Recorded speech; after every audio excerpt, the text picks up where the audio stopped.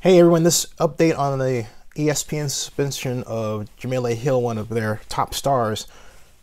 The reason for the suspension given by ESPN was that she, for second time, violated their social media policy when she tweeted out to her followers to boycott those organizations that are sponsors of the Dallas Cowboys.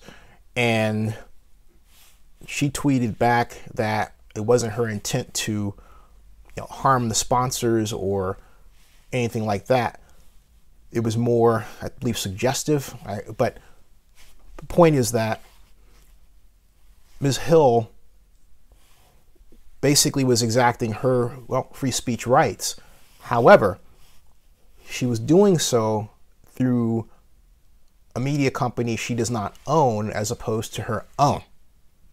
And therein lay the problem for ESPN, which is a key NFL rights holder. What that means is that ESPN, via ABC Cap City, has spent several billion dollars to maintain the rights to broadcast NFL games.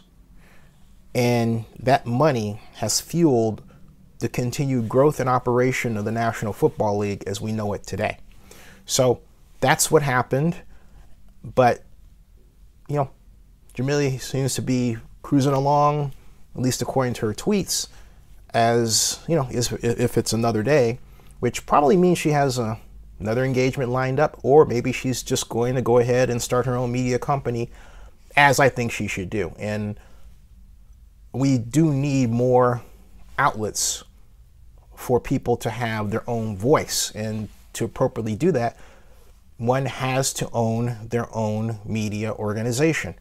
And I'm, when I say this, I don't care what uh, political stripe or opinion you hold.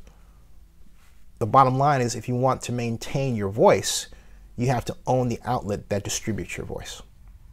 Or or else.